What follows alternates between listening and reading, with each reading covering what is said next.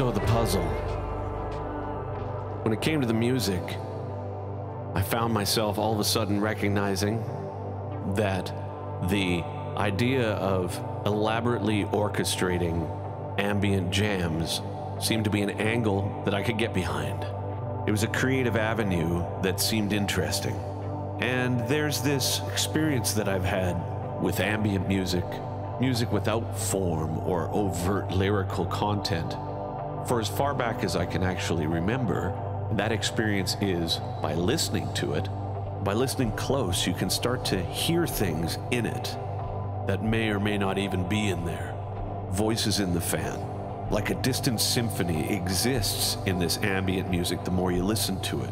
Melodies, rhythms, like cloud watching. So, what became really enticing to me was to listen to this fourth ambient jam and try to extrapolate those sorts of things, bring them out more, either with a keyboard or guitar or voice.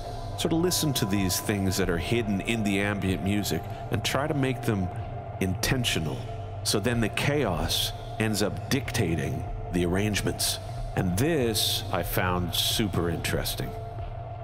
So it goes without saying that during this period, all my artists and musician friends, everyone was going through this. Everyone was trying to find a solution.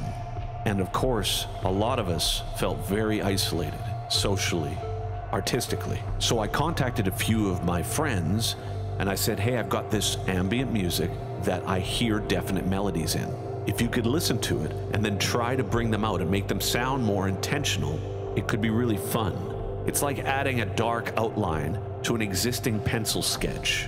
Let's add a keyboard to it, or a violin, or voice, or drums. Anything that we can extrapolate what's already there and make it sound very definite. Now, my original idea was to put it out immediately, so it essentially would become just another guitar ambient jam. If you follow me on social media, you may remember that last year I had said, hey, I've written this thing, it's called The Puzzle, and I'm going to put it out next week. But the more I worked on it, the more I started to recognize it had the potential to be a little more.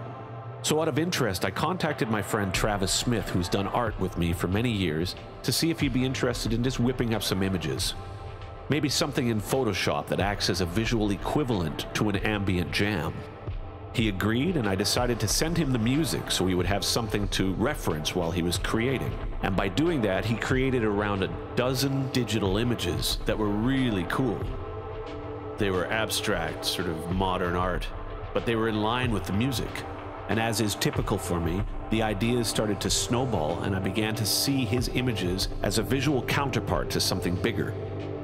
So I then purchased a piece of video editing software, put all his images in, added the ambient jam as the soundtrack, and sort of made myself a visual counterpart that I could loop while I was working on this music.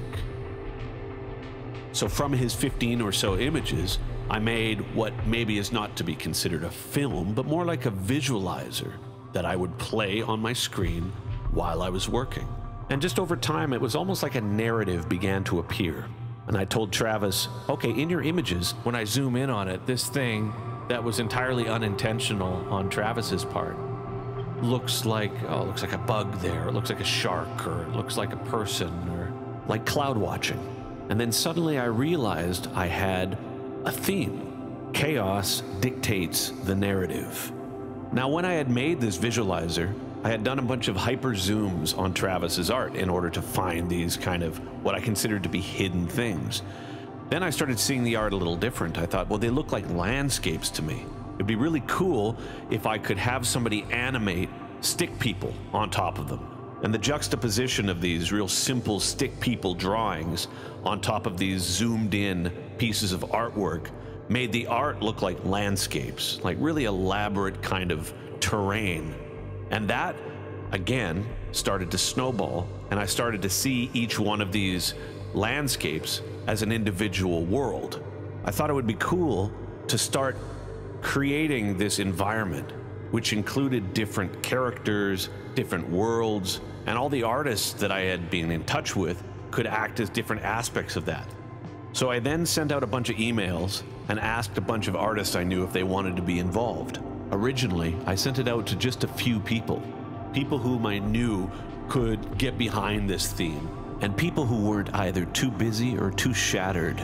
It was meant to be a release, fun, creative, abstract, so it was just a handful of people at first.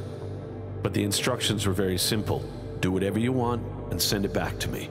Just ask yourself before you record anything do you hear it in there? Is it necessary?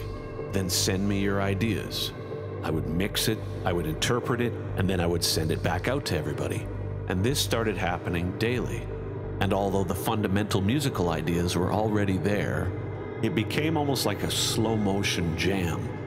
And even though at this point it hadn't defined itself yet, it was starting to take shape.